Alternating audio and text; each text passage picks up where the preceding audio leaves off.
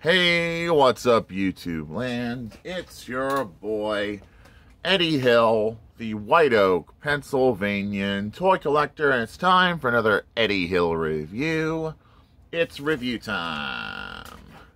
People, and today we'll be reviewing. Whoa, this thing is really loosey goosey today. Have to tighten this thing up. Yeah, sorry about that, fans pop loose, I'm going to have to tighten this thing. Let's see thing, pain in the neck has never done that before.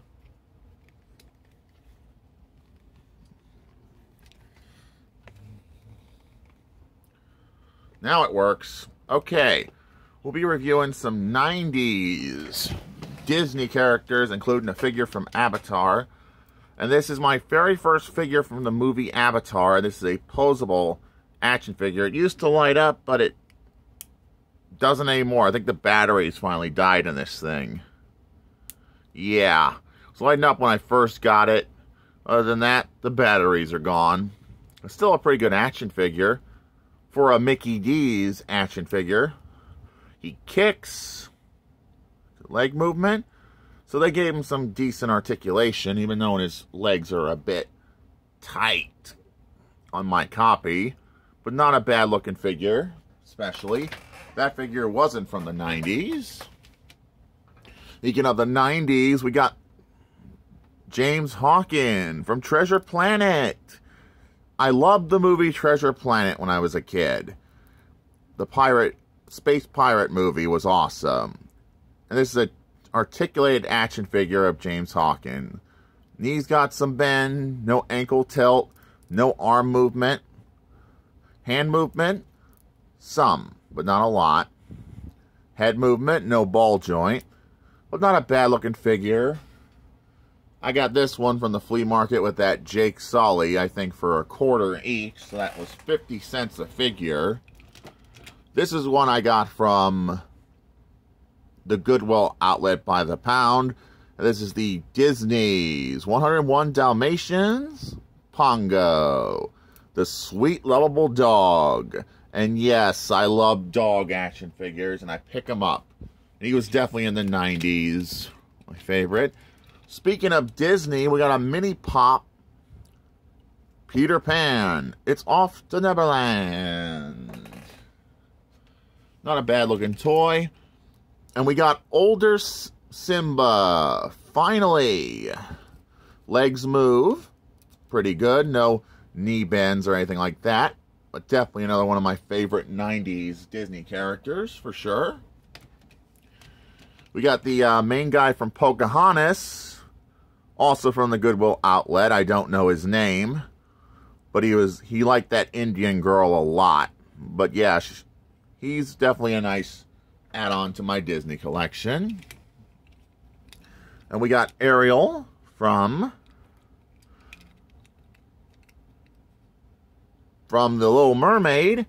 And yeah, this is her in her human form, in her wedding dress, and that's cute about her. So I'm going to keep her in my personal collection. Because she's another one of my favorite 90s Disney characters here.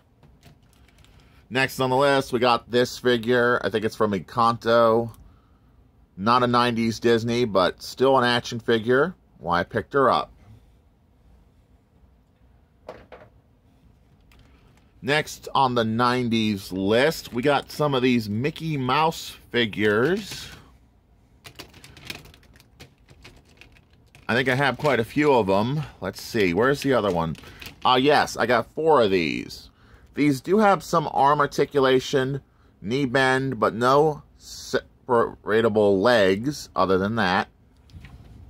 Got Classic Mickey, Police Officer Mickey, and this one's arms doesn't move. Shame, really. Uncle Sam Mickey. Happy 4th of July, YouTube land. And yeah, definitely some of my new favorite Mickey Mouse action figures. Speaking of Mickey's friend, we got Donald Duck. Why not? He's Donald Duck. And be like, Mah. he's always angry gonna knock off Little Mermaid figure. It's articulated arms get some movement, not much. But he's kind of like a knockoff Ariel in mermaid form. Definitely going on the Disney shelf for sure. Belle from Beauty and the Beast. It's a little display figure, not an action figure. Another Disney character I do know, it's Jafar from Aladdin. So another 90s figure for sure. It's uh, Simba's friend, Simone. That's his name, and he's from the 90s as well. So we got another 90s Disney. I love it when I find Disney figures. We got the Prince from The Little Mermaid. This is not a detailed action figure. It's more meant for display purposes. Why not? Dare I say why not? And we got Cruella de Vil. Cruella de Vil. From 101 Dalmatians. Some articulation. No bendable knees or anything but it still counts as a good looking action figure.